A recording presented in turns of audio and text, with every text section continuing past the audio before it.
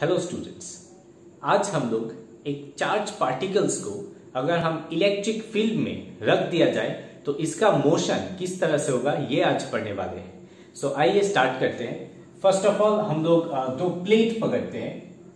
Suppose दो plate है ये और ये वाला प्लेट पॉजिटिव प्लेट है और ये वाला एक नेगेटिव प्लेट है। ओके सो इलेक्ट्रिक फ़ील्ड का डायरेक्शन पॉजिटिव टू नेगेटिव होता है। ये हो गया इलेक्ट्रिक फ़ील्ड का डायरेक्शन ओके यहाँ पे हम लोग सपोज़ यहाँ पे हम लोग एक पॉजिटिव चार्ज क्यूब को पकड़ते हैं। ओके जो इस डायरेक्शन में मूव करेगा। इनिशियली ठीक है? तो इलेक्ट्रिक फ़ील्ड के अंदर ये पॉजिटिव चार्ज यहाँ पे रख दिया हमने। सपोज़ ये प्लेट का लेंथ एक्स हो गया। प्लेट का लेंथ है एक्स नाउ इस चार्ज का मोशन किस तरह से होगा, इसको हम लोग अभी देखने वाले हैं। तो सपोज़ ये चार्ज यहाँ पे जब भी इस प्लेट के अंदर जाएगा तो यहाँ पे एक फोर्स एक्ट होगा, क्योंकि इलेक्ट्रिक फ़ील्ड है तो फोर्स आ जाएगा तो जिसके कारण ये पॉजिटिव चार्ज अट्रैक्ट होगा नेगेटिव के तरफ़। तो ये कुछ इस तरह से जाके ऐसे जाएगा। कुछ इस तरह से इसका पाथ होगा। तो सपोज़ हम लोग यहाँ पे पकड़ लेते हैं कि ये डिस्टेंस हो गया y डिस्टेंस ओके तो y डिस्टेंस कितना है? तो इसके बारे में हम लोग देखते हैं।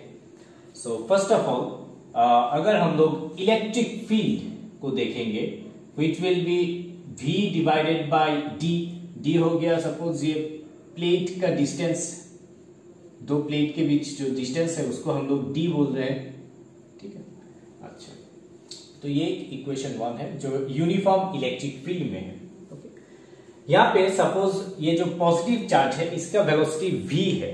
ओके ये वेलोसिटी v वेलोसिटी से मूव कर रहे हैं।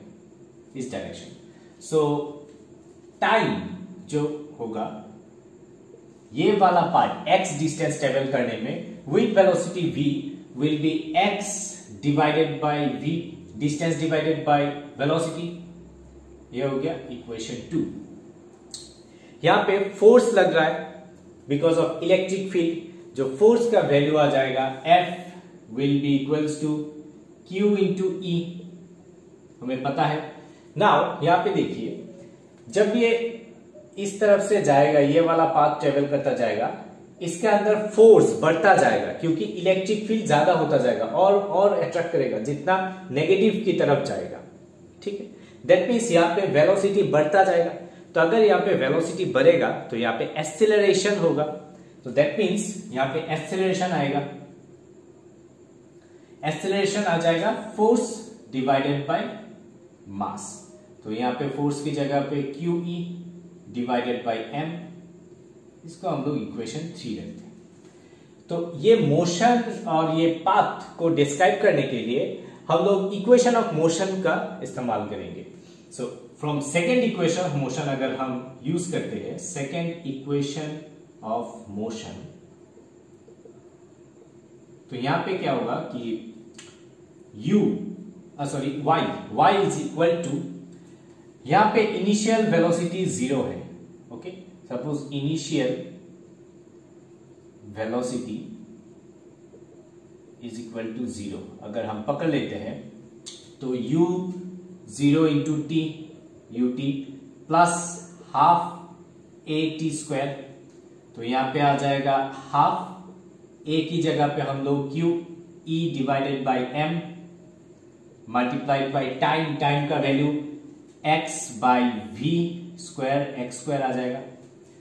ओके तो इसको हम लोग अगर लिखेंगे, y will be equals to Q E divided by twice M V square multiplied by X square ठीक?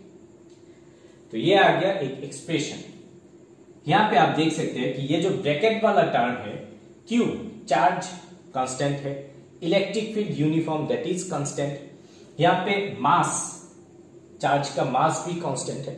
वेलोसिटी वेलोसिटी भी यहाँ पे कांस्टेंट रेट से बढ़ रहा है यूनिफॉर्म वेलोसिटी ठीक है?